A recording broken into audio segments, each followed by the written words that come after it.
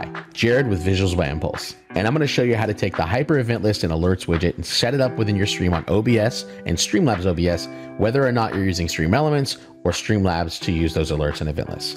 So let's get started. In the main directory, you'll see there's a Hyper Event List and Alerts widget. You'll see a README, a store page, and a panel you can use on your stream.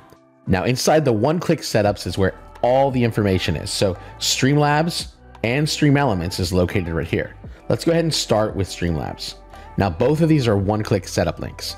So let's go ahead and start with the one-click setup for the Streamlabs alerts. And it's going to open up Streamlabs. And I'm going to go ahead and set default for this uh, tutorial. And then once that's launched, what we'll do is the first thing we need to do is take it from over here in Streamlabs and bring it into OBS. So let's copy this URL right here. Another good practice is if you need to get other widgets or if you want the hype meter set up and this setup, you'll just want to go to the manage themes and then here's where you can copy different URLs. That way you can have multiple widgets on here. And we'll go into that in another video. But for these purposes, let's go ahead and copy this widget. And down here in OBS, let's add this browser source. So we'll call this hyper alerts. And then we'll paste that URL into this section here and make sure you do this 1920 by 1080 is the dimensions. And there you go. So if you're in a 720 or uh, 4K, you'll do those dimensions. But for this use case and most use cases, let's use 1080. Uh, so let's go ahead and hit a test follow. And you'll see that that alert pops up right up top. We can do a test subscription and there's a different layout set for this subscription tier. And likewise with the resub and the donate. So if I want to make all those consistent, I'll need to change those settings in the custom fields for each one corresponding. So the follows, the subscriptions, the donations, and likewise. So each of these corresponding alert tabs, these have the custom fields. Let's go to subscriptions and go down to custom fields. And this is where everything is programmed. So your top horizontal layout, your bottom horizontal layout, and your box layout can be selected here, as well as how this aligns, and then the original capitalized and uppercase text styling. All of these colors you can coordinate with the event list as well as the hype meter. So then your whole stream will be coordinated with colors based on these tiers. And then down here in the tier thresholds, this is where you're going to want to coordinate them as well. So this is tier two threshold, three, four, and five. And this is where you set up the amount that have to be met. So let's go to bits. Under bits, you'll see we have tier two is at 500, tier three is at 1000, and let's go ahead and test those out. So let's go to the advanced testing URL and under bits, we'll put a thousand. And now based on what we have this set at, this should be tier three. So let's hit test bits and that should be purple. Yep. So that's purple because tier three color is purple. So now, now that you understand that, let's go ahead and jump into setting up the event list. So back over here in our one-click setups folder, We'll go to the one-click setups, we'll go to Streamlabs, and then we'll go to the event list one-click setup. We're going to do the same thing we did for the alerts here. We're going to copy this URL. We're going to go into OBS and hit new browser source and say hyper event list. And then we'll paste that URL here and do the same thing, 1920 by 1080. And you can make that size whatever you like, really. All right, and now that we have that set up, let's go ahead and go over to our advanced testing. Let's do the same test we did before, a thousand bits. And we know based on our settings and our tiers that a thousand bits should get us tier three, which is the color purple. And that in our settings down here in custom fields, the color for tier three is also purple. And the bits is set to 1000 for tier three. So that all corresponds. So let's go ahead and give ourselves a test here. So test bits for 1000 and there you go. The tiers matched up, the colors matched up. And then if you have your hype meter set up, everything corresponds and you are generating hype at a hyper level. So let's go ahead and generate a test follow here to see how this works. And there you go. That's green as well. And then let's go ahead and say that we like to switch up our alert style. So let's go ahead and do that. Let's say I want this alerts uh, let's go to, let's just stick with the bits for now. Let's go ahead and do a bottom horizontal for the alerts and we'll save that. Save it twice. And let's go ahead and give ourselves, let's give ourselves a different tier. Let's go up to 2500 and test those bits.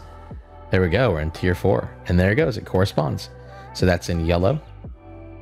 And let's also change that again. Let's change to a different layout. We'll go to boxed.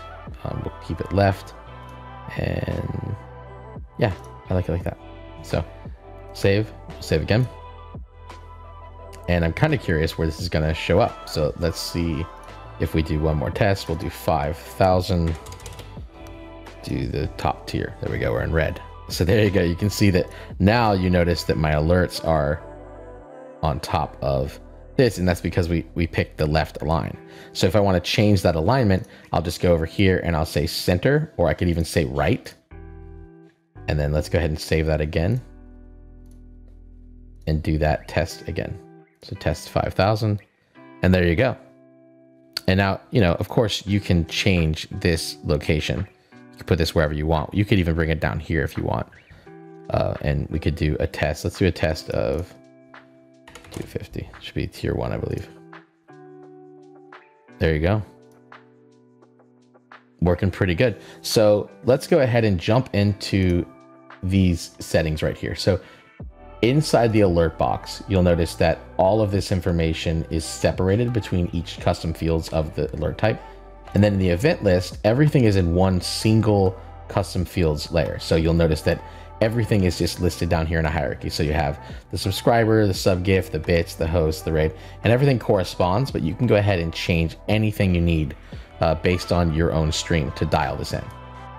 Let's do another setup here. I'll show you that we also have a list orientation here within the event list. So we can set that orientation up and we can also say if we want it to come from the left or the right. Uh, and let's go ahead and save that just because I want you to see how this this looks. And it looks a lot different on the stream. So we'll go back over here and we will do a test follow. And there we have our alerts set up. Um, in a bizarre place. so we can put these back up here and then we'll go back to our alert settings and let's tell those alerts to actually be, let's go to bits again. We'll have to make sure we're on the corresponding test. Um, yeah, let's do a bits test. So let's take this and we'll position the bits to be bottom horizontal and let's see how that looks. Let's do a bits test. Now, if you want everything to be consistent, make sure you go through each and every one of your alert types to make sure that those settings correspond. So let's go to advanced testing and I kind of want to do a purple one. I like the purple. Let's do a test bit. There we go. And that works well. So we have our bottom alert aligned at the bottom. We have our top event list corresponding with it. Uh, and you can do that however you like. So you get a really cool, unique style here and all your, your own colors. And you have a bunch of different settings to set up. It's a super modular widget that allows you to get exactly what you want to dial into your stream. All right, so back over here in the hyper event list and alerts widget folder, let's go back into the one click setups. And I wanna cover stream elements. So let's say, let's use Twitch. We will go ahead and double click the alerts. And then we're gonna go ahead and go into the edit for this alert. And we'll do a tip event of 50 bucks. And you'll notice there's a little bit of uh, an off.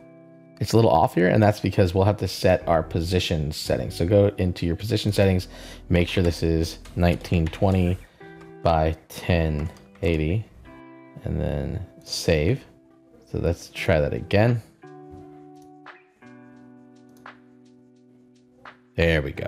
Same exact things apply here that applied into Streamlabs, but everything will be within Stream Elements here. So if you want to go to your cheers, you'll see that all the thresholds are down here.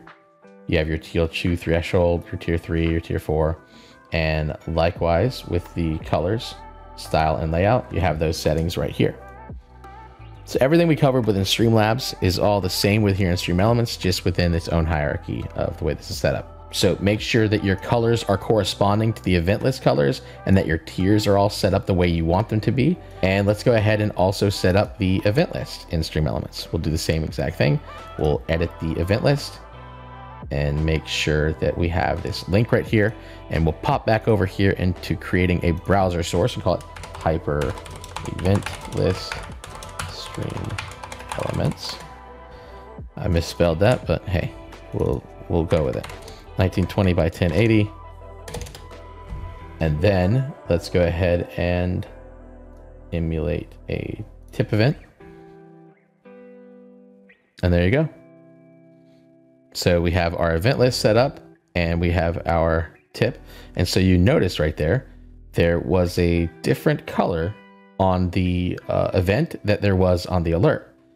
And so what we'll have to do there is let's go check. So inside this settings, let's go to the tip event and we'll check the tiers. So that was a $50 donation. So that was tier five. And so let's go to the alerts and we'll check out for a tip event.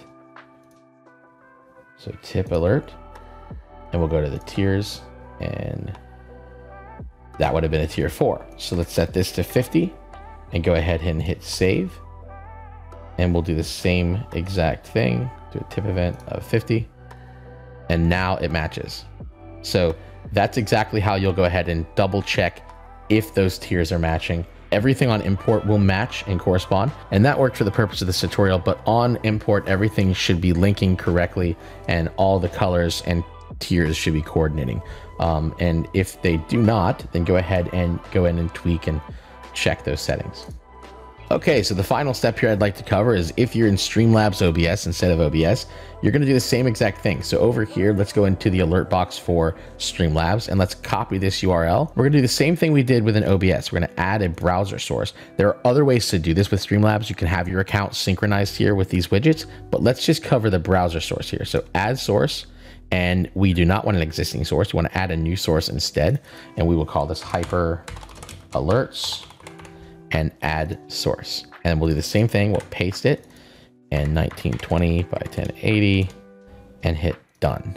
And then when I go over here and do a test bit, we will see that there they are. It pops up right there. So we can do the advanced testing as well here, see if our tiers are working. And they sure are. So it's the same exact setup that we did with OBS, but we're doing it right in here. We'll be adding browser sources just the same way. All right, so I hope that was helpful. And if you do have any other questions, please don't hesitate. We're always here to help. We have a great support staff that are here to help you, whether it's on our website, our Discord, or our community circle. We're here to help. So please enjoy the Hyper event list and alerts widget. And I hope it's a great companion for the hype meter and generates tons of hype. Good luck.